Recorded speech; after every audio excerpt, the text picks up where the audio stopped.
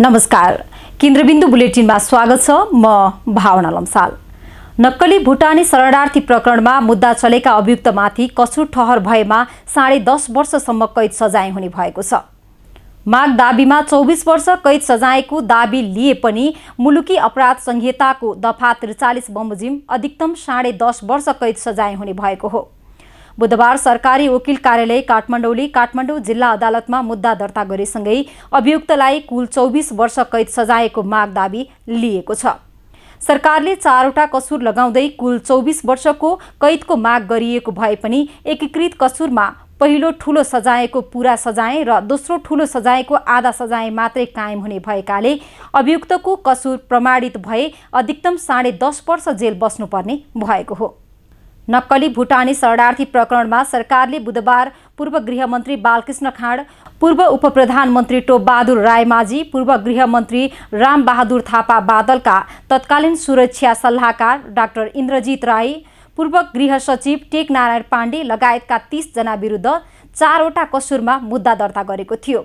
बुधबार दायर गरिएको मुद्दामा मुलुकी अपराध संहिता दुई हजार चौहत्तरको दफा एकाउन्नमा रहेको राष्ट्रिय प्रतिकूल काम गर्न नहुने कसुर दफा दुई सय उनान्चासको ठगीको कसुर दफा दुई सय छयत्तरको कृत्य गर्न नहुने कसुर र सङ्गठित अपराध निवारण ऐन दुई हजार सत्तरीको दफा पाँचको आपराधिक समूह स्थापना गर्न नहुने कसुरमा मुद्दा चलाएको छ। सरकारले दर्ता गरेको मुद्दामा राष्ट्रहित प्रतिकूल काम गर्न नहुने कसुरमा पाँच वर्ष कैद र पचास हजार रुपियाँ जरिवानाको व्यवस्था गरिएको छ। त्यसै गरी दफा दुई सय उनान्चासमा रहेको ठगी गर्न नहुने कसुरमा सात वर्षसम्म कैद र सत्तरी हजार रुपियाँसम्म जरिवानाको माग दाबी लिएको छ भने कृत्यको कसुरमा पनि सात वर्षसम्म कैद सत्तरी हजार रुपियाँसम्म जरिवानाको माग दाबी लिएको छ।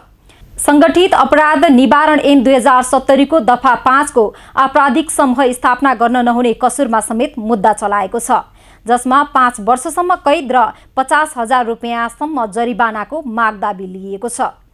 कुल कसुरमा चौबिस वर्ष कैद सजायको मागदाबी लिएको भए पनि मुलुकी अपराध संहिता दुई हजार चौहत्तरको दफा त्रिचालिसमा कुनै व्यक्तिले एउटै वारदातमा एकभन्दा बढी कसुर गरेमा त्यस्तो कसुरलाई एकीकृत कसुर गरेको मानिने व्यवस्था समेत रहेको छ।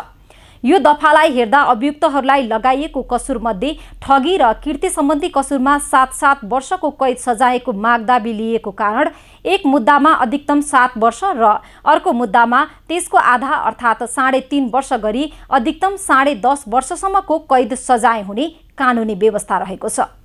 केन्द्रबिन्दु बुलेटिन अहिलेलाई यति नै। केन्द्रबिन्दु युट्युब च्यानललाई सब्सक्राइब र केन्द्रबिन्दु फेसबुक पेजलाई लाइक गर्न नभुल्नुहोला। हवस् त। नमस्कार। साथीहरूको लागि यो हात सलाम दुश्मनको लागि यो हात फलाम। तपाईँहरू हेर्दै हुनुहुन्छ केन्द्रबिन्दु टेलिभिजन।